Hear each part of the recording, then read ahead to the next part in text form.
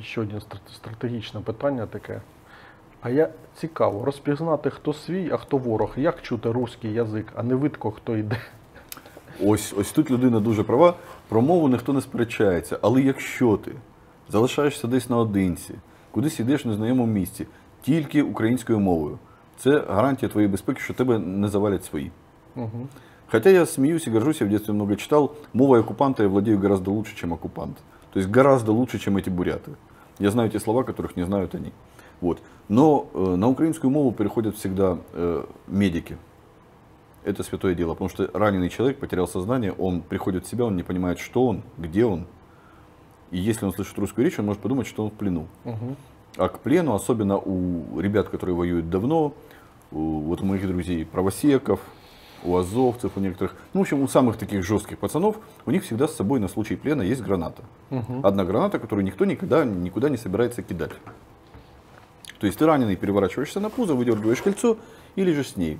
Если поле битвы за твоими, тебя вытащат. Если поле битвы за орками, они ходят и переворачивают, чтобы понять, кто ранен, кто жив, кто мертв. Перевернули, всем привет, увидимся у апостола Петра. Многие так реально поступают, таская с собой эти гранаты. Поэтому человек, который придет в себя и услышит русскую речь, он может подумать, что он попал в плен. И уничтожить всех окружающих вместе с собой. Тому тактична медицина, парамедики завжди спілкуються українською. Людина приходить До тями. до тями да, і відразу розуміє, що вона у своїх. Нікого підривати, хапати чужий калашмат не треба. Це свої. То есть это вопрос выживания. Опять-таки ты идешь, э, есть, ну как тоже, ты, когда ты идешь по какой-то тропе по зеленке, ты не разговариваешь, там есть жесты, потому что голос выдает.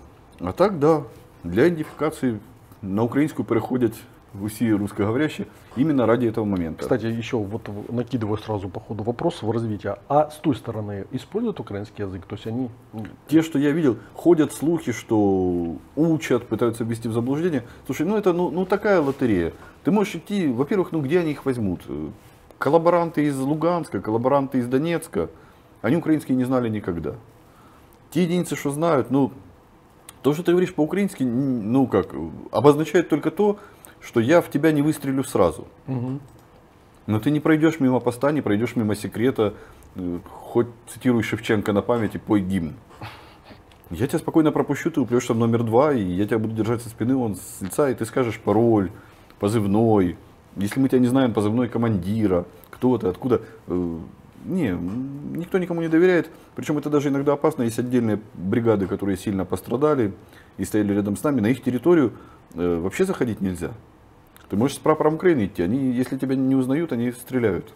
То есть очень тяжело зайти. Не буду говорить, какая бригада рядом с нами стояла, но ребята очень в жестких боях участвовали, ребята немножко на нервах. Мы один раз заехали ночью к ним без фар. Ну, все ездят без фар, потому что иначе ты мишень. Так нас чуть свои не обработали по полной программе. Мы успели сбежать от своих, слава богу, не там повернули. Ну, Лисичанск город незнакомый. А так, чтобы к ним нормально зайти, ну, если есть какие-то вопросы, ты не просто с командиром связываешься. Ты просишь тебя связать с разводящим, с тем, кто отвечает за посты, чтобы он вышел, тебя встретил. Ты объясняешь, на какой машине ты приедешь. Потому что, да, дружественный огонь никто не отменял.